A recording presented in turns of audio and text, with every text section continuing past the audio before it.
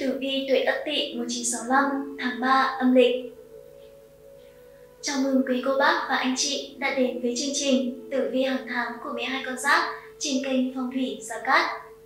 Lời đầu tiên, xin kính chúc quý vị luôn gặp nhiều may mắn và sự hanh thông trong công việc cũng như cuộc sống hàng ngày. Quý vị thân mến, trong những năm gần đây, khoa học ngày càng phát triển đã tác động một cách sâu sắc, toàn diện tới đời sống của con người.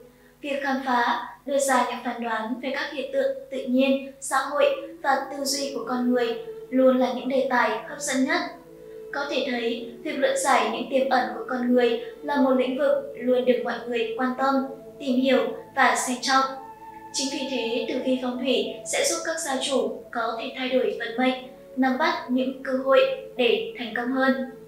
Và tiếp trong phần luận giải tử vi từng con giáp, từng tuổi, chúng ta hãy cùng tìm hiểu xem vận trình của những gia chủ tuổi Ất Tỵ sinh năm 1965 trong tháng 3 âm lịch năm Tân Sửu sẽ diễn ra như thế nào. Chi tiết các hôm, nạp vận ra sao? Hãy cùng theo dõi video ngay sau đây của chúng tôi và nhận lời khuyên từ những chuyên gia phong thủy hàng đầu tại Việt Nam. Đặc biệt trong tháng này, thầy Gia Cát sẽ nhận tư vấn hoàn toàn miễn phí tại văn phòng công ty Phong thủy Lộc Tài về các vấn đề như tử vi, phong thủy, mùa mạo âm trạch, xây nhà, sửa nhà, kế hỏi. Để có thể được tư vấn miễn phí, quý anh chị hãy liên hệ đặt lịch theo số điện thoại đang được hiển thị ở trên màn hình. Mời anh chị và các bạn hãy cùng theo dõi.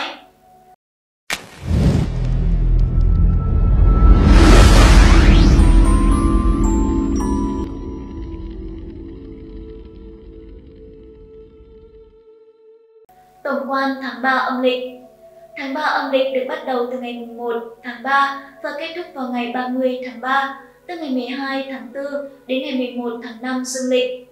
Tháng nhâm thìn có năm âm là trường lưu thủy, ngày thìn lục hợp dậu, tam hợp tý và thần thành thủy cục, xung tuất, hình thìn, hình mùi, hại mão, phán sửu, tuyệt tuất. Đối với những người tuổi ất tỵ trong tháng 3 âm lịch sẽ cần tránh các ngày.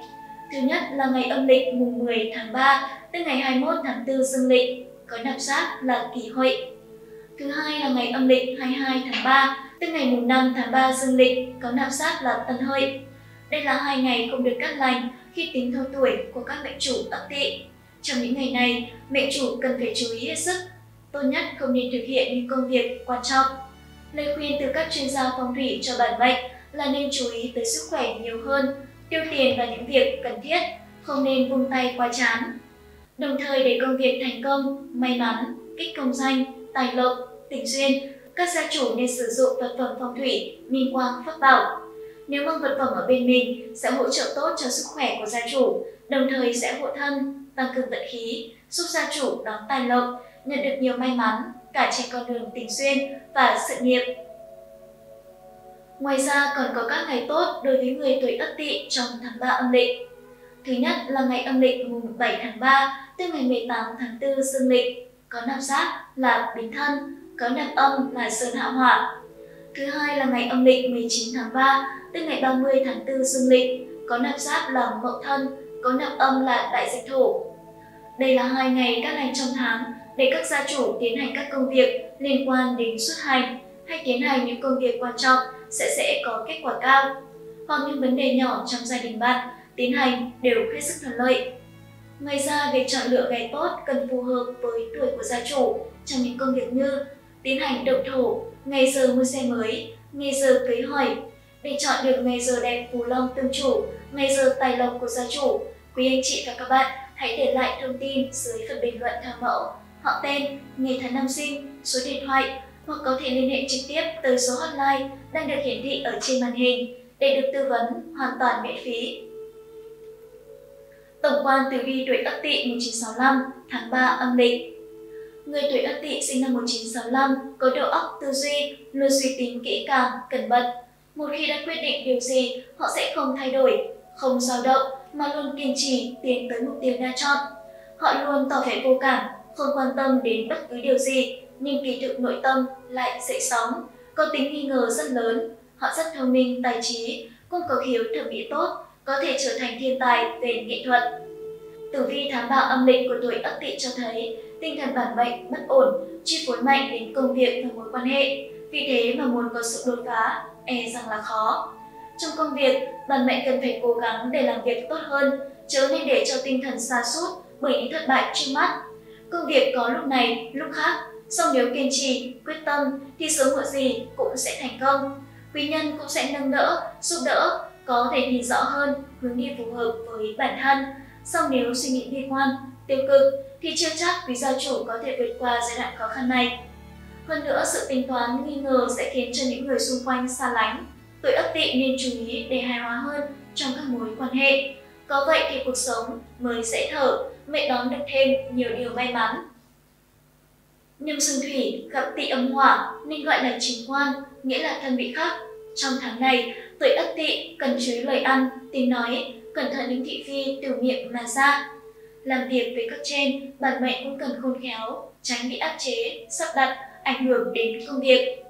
Ngoài ra, để không bị tiểu nhân ám hại, cản con đường công danh, sự nghiệp, tài lộc trong tháng 3 âm lịch, như gia chủ ất tỵ nên mang bên mình pháp khí phong thủy, minh quang, pháp bảo.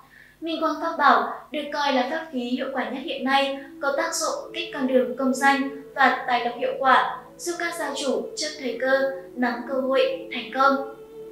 Đồng thời, đây cũng là pháp khí của nhà Phật, được ra đời trên nền tảng chắt lọc những tinh hoa, trường khí tốt, giúp vạn sự hanh thông, tốt lành.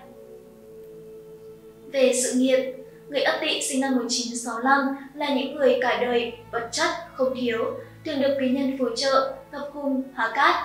Đối với hầu hết những người Ất Tỵ sinh năm 1965, may mắn trong sự nghiệp có thể lờ lững đi ngang.